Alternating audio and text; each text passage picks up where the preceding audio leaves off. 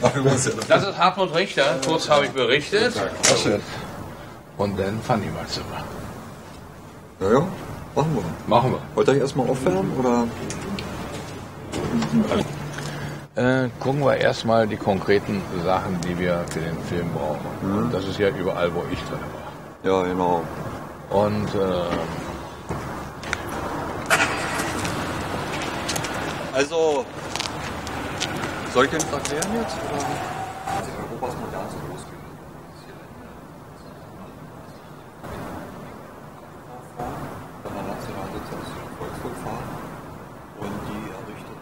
dieses Gelände und um dieses Gelände, um dieses Gebäude herum äh, entsteht Sachsenhausen, Buchenwald, Bautzen, Bautzen 1, war bis, äh, bis 60, 60 beendet worden.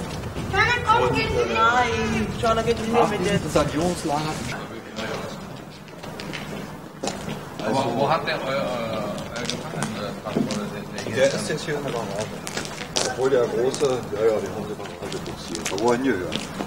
Hier in der. Schleuse. Aber zur Besichtigung äh, Ja, ja, natürlich. Ja. Und gut, dann gucken wir uns den nach. Als ich hier reinzog in den Neubau, da schreibe ich auch in meinem Buch, habe ich Glück gehabt, dass ich in den Neubau einzog. Vorher waren die äh, Untersuchungskammer äh, in diesem Keller. Und den können wir uns anschließend mal, Du warst äh, ja mal, mal ansehen. 60? Nee. 1961 kam ich direkt hier rein. Da war der Bau fertig. Und, da, und dieser Bau war also verglichen mit anderen Gefängnissen Der modernste. hochmodern. Ja. Toiletten schon drin und Ja. anderen wurde noch gekübelt, nicht wahr? Wasserleitung kam ja später dann, ne? Die kam viel später. Die kam 70 Ja, ja. Wir hatten noch Schüssel. Ja. Ja, und äh, das war also, ich hab das auch, da ist in Potsdam, die hat man hier das Und da ist der Stasi vom KGB. Zum Beispiel Da ist der. Vernehmerteil. Und hier die Zellen. Man kam dann rüber in den Flurs, was ich nachher da, wo wir jetzt äh, reingehen, zu den Vernehmerteilen und wurde wieder zurückgeführt. Wie lange, her war das für die nach Wo ich- Verhaftung? Und äh, Da erstmal ein Jahr Untersuchungshaft und dann nach meiner Bautzen-Affäre mit den Wachmeister bin ich auch wieder hierher gekommen und blieb bis zur Entlassung. Nochmal zwei Jahre. Also war ich eigentlich insgesamt drei Jahre hier. Drei Jahre, aber ähm, äh, wenn, du, wenn Sie wieder frei waren, so jetzt sind Sie auch wieder hier. Und, Aber nicht das erste Mal. nein, wie, wie oft sind Sie nach Ihrer Freilassung wieder hier? Jede, jedes Jahr auf jeden Ja, Fall ein, ja. zweimal. Ja, ja. Und warum? Äh, einmal Vorträge. Nicht Führung, sondern Vorträge. Und äh, sind Einladungen und da lädt man ein und äh, ich soll noch mal kommen und äh, Und immer. oder wenn, wenn Freunde äh, kommen, na kommt, ich zeige euch das mal. Also das war möglich. Dann wurden ja subtiler. Man kann sagen und auch belegen, je mehr die DDR sich um internationale Anerkennung als Staat mühte, desto subtiler wurden die Methoden. Es wurde mehr zersetzt, isoliert äh, und auf diese Art und Weise eben versucht, Persönlichkeiten zu brechen. Wer durchdrehte zum Beispiel, nicht laut wurde, der wurde äh, ruhig gestellt, nannte die Stasi. Das Sie sehen hinter diesen Klappen hier äh. Schon, dass Schallisolierung, genau. Nicht Gummizellen. Gummizellen. So zwei, drei Zellen wird man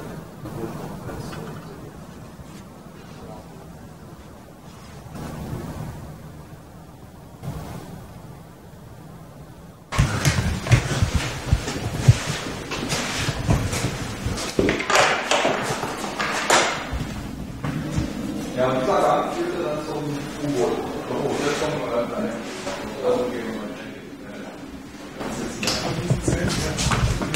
Das jetzt sind hier nur zwei, die jetzt so erhalten sind. Hier zwei, wo man hier natürlich nach der Wende das abmacht, um Abhöranlagen oder sowas zu finden. Okay, schade, äh, man hat auch keine gefunden. Aber ansonsten, in U-Boot hat sie noch ein, zwei Zeilen. Genau der Klasse irgendwie auch schallisoliert. Ja, ja, genau der Klasse. Ja. So, gehen wir zum normalen Zellen. Das ist ja bloß, wenn man schreit und ge- gegen die Tür tritt und äh, Wachmeister angreift.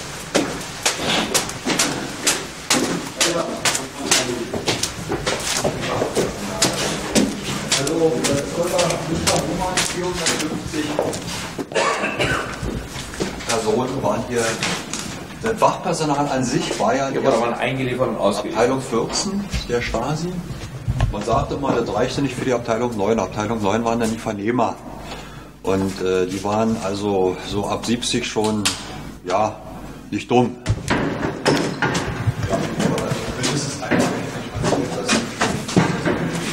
Hier haben die Gefangenen gesessen. Vorsicht. Hier, Handschellen, die ganze Fahrt. Und Tür zumachen. Dunkelkasten. Und dann wird man durchgerüttelt, so drei Stunden, vier Stunden, man hat ja auch keine Uhr. Um, äh, aber irgendwie schätzt man das, boah, könnte vielleicht Ostberlin, Sachsen sein. Eventuell. Da wurde man auch raus, man wusste auch nicht, wo man ankommt. Oder aus Boston, als sie kamen, auch in so ein Ding, Tür zu, Handschellen. Und da sitzt du. Ja, du, du, du hast ja eine Zweimannzelle hier ausgesucht. Kann ich mich erinnern. Ich bin in Potsdam, ja. Die haben sich da weiße Kittel angezogen über ihre Uniform. Das heißt, diese Fahrzeuge sollten von der Bevölkerung nicht als Gefangenentransportfahrzeuge erkannt werden. Es ist frisch und Ja, perfekt. Perfekt. Perfekte Diktatur. Der war doch Vater. Der war ja immer der Juden, sag ich mal so. Ich kenne sie nicht, sag ich. sag damals anders, als ein paar Jahre her. Wer was vorbei? Ich mach mal eine Aufnahme, bevor die Leute hier drin sind, die mich aber nicht machen. Ich werde auf die Blöde machen. Das musste ich da immer in einem Besucherzimmer. Heute ein schöner Stammtisch. Da gibt es schlimmere Türen.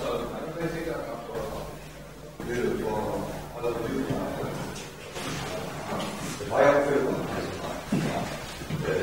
Die wussten ja auch nicht, wer war. Jahren. Und das Rot bedeutet also, der Wachmeister müsste, musste hier stehen, weil irgendein anderer Gefangener irgendwo auch transportiert wurde. Das war das Warnsignal. Und wenn das grün war, dann war okay, dann konnte er nehmen. Dann diese Dinger hier. Das war so wie der, Wach, äh, der Häftling irgendwelche Bewegungen macht oder äh, Fluchtversuch, was hier idiotisch ist, geht ja nicht. Dann brauchte der bloß hier raufgreifen. Das Ding ging, also geht auseinander und die Alarmglocke klingelt. Was glaube ich noch nie passiert ist. Also, das, äh, die waren übervorsichtig. Also man äh, ist nie einem anderen begegnet hier. Nee. In, in, äh, in Hohenschönhausen. Und deshalb haben die auch keine, äh, mussten die nicht extra eine Frauenstation. Also hier lagen so von wegen Männerstation oder so. Und hier war auch weibliches Personal natürlich. Ne? Und, äh, und Frauen wurden natürlich bei ihrer Ankunft hier in der Rezeption, nicht, äh, ich da kein anderes Wort, äh, dann auch von Frauen untersucht natürlich. Ne? Und das begann sozusagen hier, äh, kommen sie, Lampe aus, also keiner da, hier rein, hier war zu. Die Gittertür hier hinter beginnt sozusagen der Zellentrag. Das war offen, dann hieß es also rüber Sachen. Also hier wurde nach Zellnummern, das war, äh, das war eins, was sie unterschieden halt. Er hat nie mit Namen genannt, nicht? Und äh, so äh, hat man das, also das auch nicht, wenn man jetzt gerade äh, etwas gehört hat, wusste man nicht, wer da, wer da drin ist. Ne? Ja, und wir richten hier nicht? Also, Also ich habe keine, ne? Man, gut, man hat das zwar das Recht, äh, seine eigenen Sachen behalten zu können, aber wie soll man die pflegen? Ja, Ja, meine Hose war durchgeschossen. ja natürlich. Und hier die Klappe, das, man sah ja auch den Wachmeister nicht. Das ist die Essensklappe, die geht dann auf. Jetzt ist der Schlüssel nicht da, schwarz Ja, rein. jetzt, äh, ah, nu komt het Essen zo drauf. Wollt ihr das filmen? Na, später. Äh, dann wird es aufgehört, äh, also die Klappe geht so auf, dann wird der Suppentopf hingestellt und von innen nimmt man ihn. Und dann ging auch nochmal auf, früh morgens, zwei Stück Toilettenpapier und nahm das. Das habe ich, glaube ich, im Buch auch äh, beschrieben. Einmal wollte ich ein bisschen mehr haben und dann, sie haben einen flotten Auto. Ja, ja. Und Rasierzeug auch. Also allerdings da blieb die Klappe immer offen bei uns. Sie ich auch, ja. Ja, ich kann mich an auch nicht mehr so genau erinnern. Immerhin sind das ja auch schon etliche Jahre her.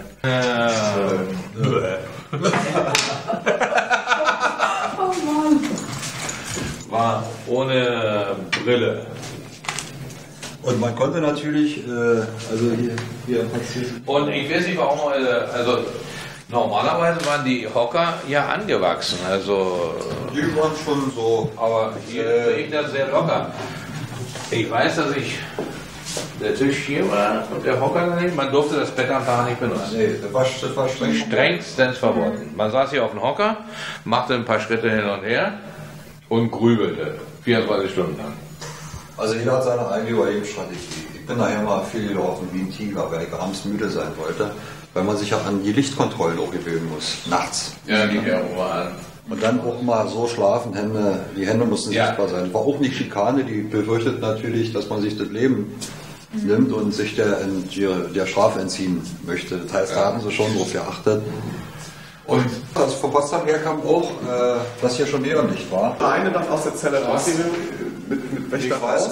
Der Wächter hat ihn da dann äh, hier aufgeschlossen, einen begleitet und äh, dort reinbuxiert. Dann ging die Tür wieder auf mit diesem großen Karacho und dann wieder mit dem Wächter, der neben einen lief, also wieder in die Zelle. Also am Wochenende war es etwas länger, da war nicht so viel Gegenverkehr.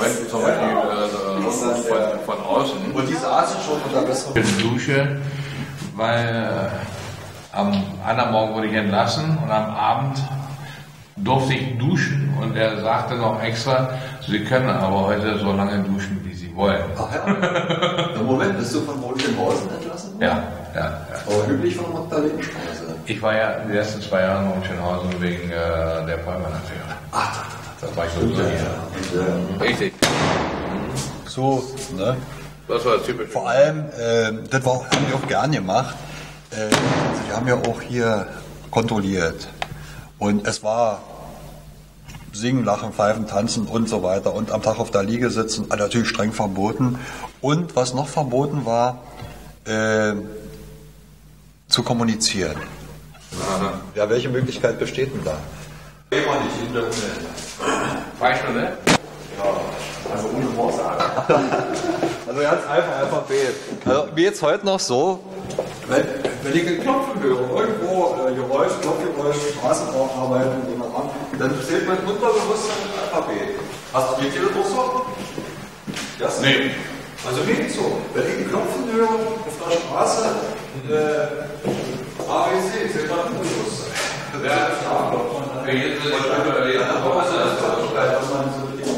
Nachbarn, den man ja nie gesehen hat. Ja? Aber man macht sich so, so eine Vorstellung, äh, hier ist der Vollzug, äh, der, der, die Untersuchungshaftanstalt und hier beginnt der Vernehmertag. Hier saß man als Gefangener, Haftbefehl verkündet, also diese, diese Formalitäten, die wurden schon eingehalten. Dieser Staat versuchte ja nach außen als demokratisch dazustehen, da musste man so beachten. Äh, äh, Wir konnten, ich habe also hier äh, wahrscheinlich sein, bei meinem Standort außer Haft entlassen, weil die Gründe dafür Gefahr gehofft ist. Ja, Kinder?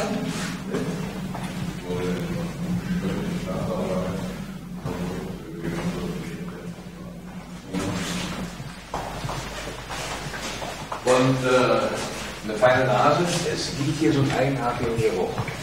Der stimmt genau mit dem Geruch überein, der vor 40 Jahren noch hier Ja, So leicht du feucht. ja, ja, ja, ja, ja.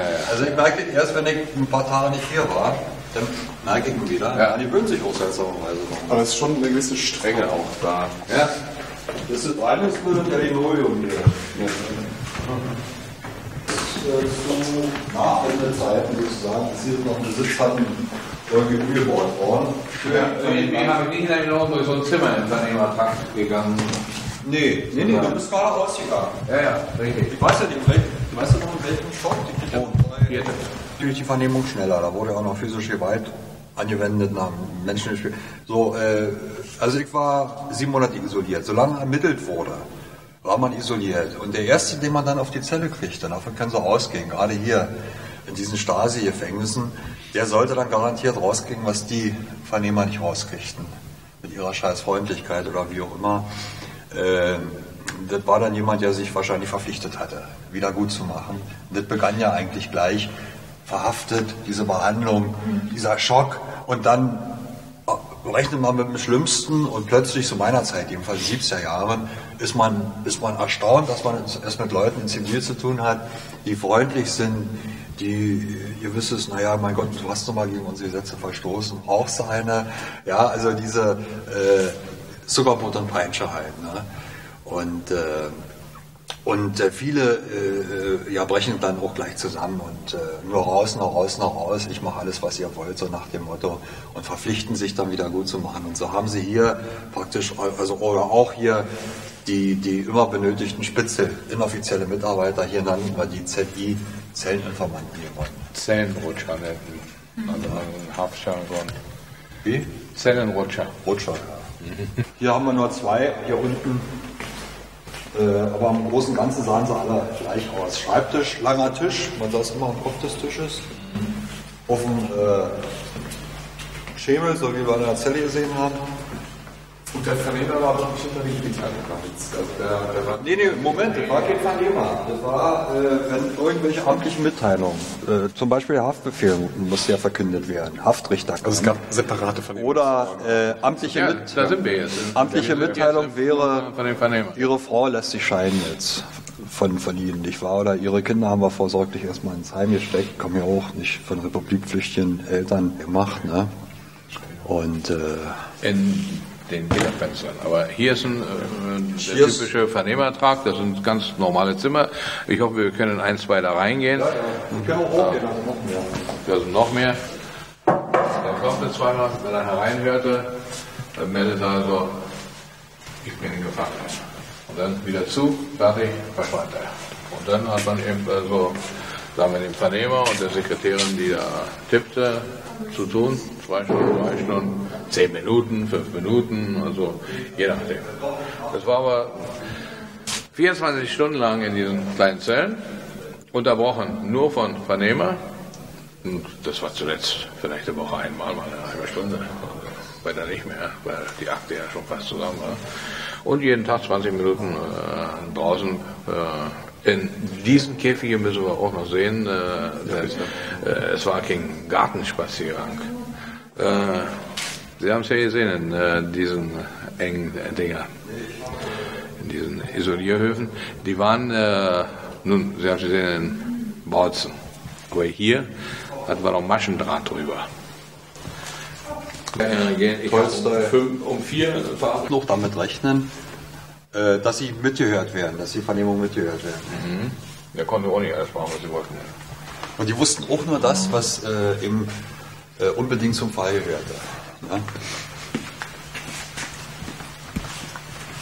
Das ist ein Anblick. Ja. Also ich habe jetzt so eine Erinnerung, dieser unheimlich lange Tisch und ich saß dann immer da vorne und die Ähm. äh, Stühle waren da auch nicht. Und es gab auch äh, lange Zeit, wo der die Sekretärin getippt hat, also die Sekretärin da am Tisch und ich saß auf dem Hocker in der Ecke. Damit Nee, also, also ich saß immer hier äh, in diesem großen, ja. auf dem Schemel. Auf dem Schemel, ja. Mhm. Also zwei Leute waren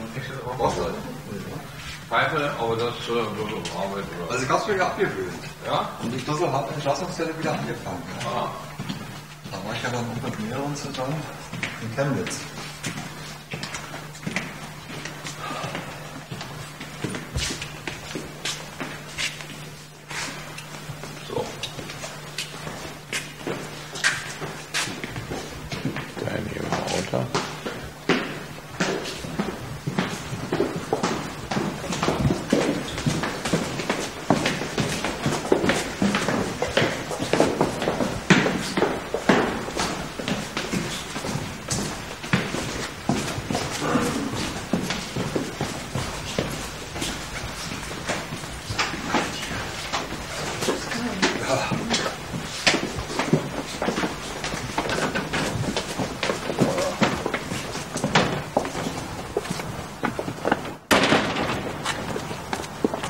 Sehen Sie da drüben war Vernehmung, sehen Sie, meine Vernehmung war auch eine Abwechslung. Man, man, man hoffte äh, zur Vernehmung Mit irgendeinem zu sprechen, weil man einen ganzen Monat. Keinen Menschen gesehen hat, und? Keinen gehört hat, kein Wort gesprochen hat, keine Zeile gelesen hat. Und auch nicht wusste, äh, ob wir Sonnentage hatten oder äh, Wolkentagen, der durch diese Glasbausteine kam ja nicht. Dann war das schon eine Abwechslung, ja natürlich. da gab's äh, Streng, also ständig hier mit schweren Stiefeln jemand, der Ja, ja. hier oben das immer. mit seiner Kalaschnikow. Ja, waren alle bewaffnet. Gab es da auch mal so zynische Sprüche, irgendwelche Bemerkungen von Wärtern, die dann da oben standen? Nee, man durfte ja nicht äh, sprechen Ja. oder, oder pfeifen äh, oder sowas. Die haben sowieso keine, die haben ja Sprechverbot mit uns gehabt. Auch in Strafvollzug eigentlich. Also das ab und zu. Da gab es einige Spießer, das ist ein extra Kapitel, die hatten wahrscheinlich die mehr so drei Finger so und so, weißt du? Der ist oder Italiener, wenn du ihn noch kennst. Die sind mal, die haben sich mehr unterhalten nicht. Aber die meisten hatten da, äh, durften ja keine Kontakte auf. Na, und hier sowieso nicht. Hier sowieso. Nee, hier überhaupt. Hier ganz raus. Strafvollzug ist so etwas demokratischer in Abführung. Also deshalb äh, war hier, sah ja Am Ende wird das nicht noch ab. Ja eine der Vorsichtig, ne?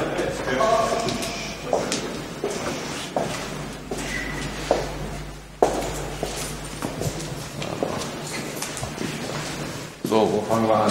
Ja, na dieser Keller hier, äh, ehemalige Kühlkeller, Gefangene bauen den auf äh, NKWD, also der sowjetische Geheimdienst war ja damals NKWD, später KGB, die richten diese Zellen an U-Boot. Wahrscheinlich hatten die ersten Gefangenen, die hier runtergeführt wurden, vom Haus aus, natürlich nicht wie wir jetzt vom Hof, den Eindruck, äh, U-Boot, äh, wie ein so U-Boot zu sein. Es war ein geschlossener Raum. Die Fenster dort auf der Seite sind auch später erst eingebaut worden, wie auch die Heizung. Das heißt, äh, auch hier, wie in den Internierungslagern, insgesamt verreckten ja auf elende Art und Weise 40.000. Und wie wir heute wissen, waren das willkürlich Verhaftete. Ganz wenig, die wirklich Funktionsweise NSDAP waren. Und ebenso in diesem Keller hier in den ersten Nachkriegsjahren. Und äh, bei der Geständnisgewinnung, wenn ich das mal so ironisch sagen darf, wurde immer Gewalt angewendet. Das wenigste war eine Backpfeife oder einen dritten Hintern.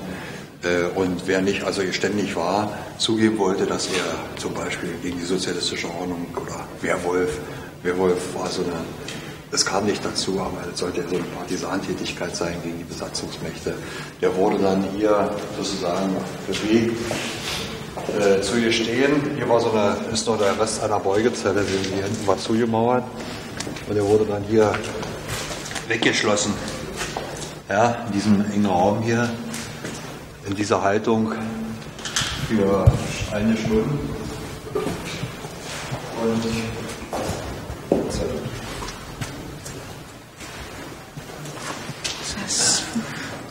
Und hier sind die, äh, das sind Rekonstruktionen. Also diese Methoden, diese, diese Methoden, also äh, äh, Folter und so weiter, hat man bis 55 haben wir von Zeitzeugen erfahren, angewendet. Und später immer weniger, in den ersten Nachkriegsjahren besonders, Menschen, denen keine große Rolle spielte. Und äh, später, als dann auch die Besatzungsmacht äh, sozusagen sich an gewisse Normen halten musste, da hat man mit dann äh, nicht mehr angewendet. Aber die, das sind Rekonstruktionen, die äh, sind hier fertig, sehen Sie die Zeichnungen hier, die hatten heute alter Mann, der war damals mit 16 Jahren hier inhaftiert, der war am dieser Zelle beteiligt. Was hier an den Förderbänder, die an die Wände, an die Wände die mussten ja wasserdicht sein. Die waren noch etwas höher gemauert. Das sind, wie gesagt, normale Zellen, die man rekonstruiert hat. Äh, Das heißt, sie stand fast knietief im Wasser, an Kantfässern gefesselt und wurden also. Und auf den oberen waren die Hände festgebunden. Hier war Wasser drin, das heißt, ermüdete der Kopf, sackte mit Wasser, wollte man zu ertrinken, man von oben tropfte Tropfen, immer auf dieselbe Stelle des Kopfes. Ne? Hier. So, fest, kam hier. Macht das jetzt nicht, weil ich so eine Schultern habe. Das tut schon weh. So. Ne? Durch. Von diesen Zellen, wo sie also Aber fest. entweder Einzelheit, äh, Einzelhaft oder Großen. eben also in großen Zellen Ja. waren. Kübel und Stink. Na, hier und, der, der Janka, äh, äh, Ja, zum Beispiel. Jank, nee, der war, der hat gesagt, der war in so einer kleinen Einzelzelle. Naja, ist verschieden. Ja, nun gut. Auf jeden Fall, auch diese Zellen sind nicht sehr, äh, sagen wir Nee. mal, auf dem letzten Stand der Zivilisation. Ja, und die Fenster sind auch erst Anfang 50 eingebaut, wie auch eine Heizung. Also äh, die, wir, wir, wir kriegten ja Sachen, wir kriegten andere Gebäude. Naja, das U-Boot existierte bis 1960. Als- Dann existierte es nicht mehr. Als das fertig war, Wurde auch kam ja- nicht mehr genutzt. Nein, Außer die vorderste Zelle. nein, noch zwei andere wohl, aber äh, es gab Aber- Isolierzellen. Ansonsten war das ein Lager, Kellerraum. Ja. Man hat dann sozusagen einen großen Schritt gemacht, ein modernes offenes Gebäude, wo wir ja drinnen waren. Und das ist nur, äh, ich weiß es ja nur von Erzählungen von anderen, die alle das U-Boot schon mitgemacht haben, also hier unten waren, wo das noch nicht, äh, gar nicht existierte da oben. Also beides zusammen war nicht. Erst das, nach dem Krieg erst die Sowjets mit ihren äh, ganz harten Foltermethoden, DDR-Anfangszeit bis 17. Juni auch diese Foltermethoden und überhaupt diese Zellen hier bis 1960. 1961 wurde der große Neubau eröffnet, wo mein Bruder und ich die Ehre hatten, einer der ersten Häftlinge zu sein im Neubau. Und das war der Neubau, den wir da oben gesehen haben. Die Gefahr besteht, wenn alle zu viel Eindrücke kommt, dass sie alles durcheinander mischen. Morgen haben wir noch Bautzen auch noch dazu. Ich verstehe nur gar nicht, ich meine, das war ja kein humanes System. Was hat denn eigentlich die DDR dazu bewogen, jetzt da das U-Boot äh, zu schließen, abzuschaffen und da oben das zu machen? Sie war äh, ab, ab 60 vielleicht, war sie ja verstärkt äh, interessiert, äh, ähm, in der UNO aufgenommen zu werden, diplomatische Beziehungen mit irgendwelchen Ländern zu haben äh, und äh, das Wort demokratisch äh, und ein bisschen sehr viel Reklame, dass sie ein humanistischer Staat sind was natürlich hinten und vorne nicht stimmte, aber immer den Schein zu wahren. Sie haben ja sogar geschafft, den Schein zu wahren, dass ich weiß, die drittgrößte Industrieland der Welt zu sein. Zehnte. Äh, das zehnte Industrieland. Sie, ja, Sie haben mit so viel Pappmaché und Propaganda äh, das gemacht, dass äh, sogar, sogar westliche Politiker daran geglaubt haben. Naja, eine Industriestadt ist es ja. Aber was sie produzieren, Pappautos mit äh, Umweltverschmutzer und dass er, wie Kohl mal sagte, überall, wo, wo wir anrührten, äh, zerpuderte, war so alles marode, dass, dass also nichts mehr in Ordnung ist. Weder der Asphalt, die Straßen, noch die Schienen, noch, also, ich glaube, Bautzen ist jetzt eine sehr schöne Stadt geworden. Wäre die Wende zwei Jahre später gekommen, wäre viel weg. Oder Potsdam, ja. war, war fast alles Heimatstadt. Aber, aber Hohenschönhausen ist doch trotzdem, also auch der Neubau war doch total streng geheim. Kein Mensch wusste, dass da Gefangene sind. Mhm. Also dieses Argument passt doch dann eigentlich nicht. Also um sich zu öffnen, weil es wusste doch sowieso. Ja, die Leute kommen ja, wurden ja nicht alle erschossen und nicht alle kamen um. Irgendwann kamen sie ja mal, mal raus. Und äh, wenn einer dann übers U-Boot berichtete, das hat dann äh, solche Berichte, jeder solcher Fassadenstaat mhm. ist auf das Renommee, äh, also reagiert sehr empfindlich bei irgendwelchen äh, Aussagen von Überlebenden. Mhm. Und äh, das reagiert besonders empfindlich sogar.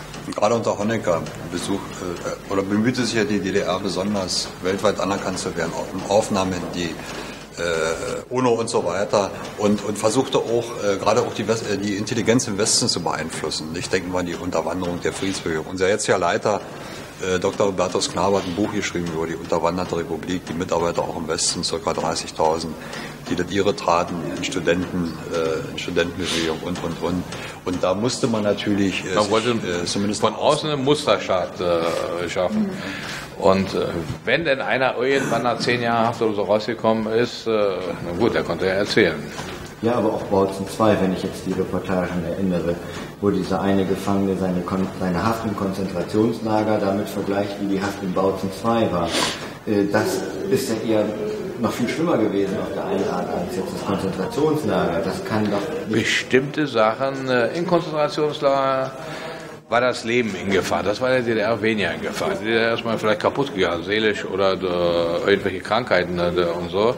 Aber man erschoss keinen. Äh, wenn nicht ein triftiger Grund, und der, der lag ja nie vor, vorhanden war. In Konzentrationslager konnte man also selektiert werden, äh, in Konzentrationslager könnte man also erschossen werden, äh, äh zusammengeschlagen werden, bis man anschließend starb. Das gab's nicht. Aber man war in einer Gemeinschaft. Man konnte also Bäume anfassen, wie sie mal äh, sagten.